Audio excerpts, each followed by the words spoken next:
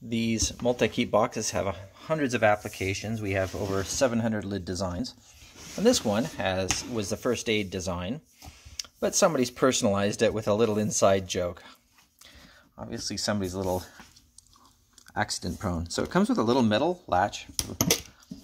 Then you open it up and you'll see you can move these walls around however you want.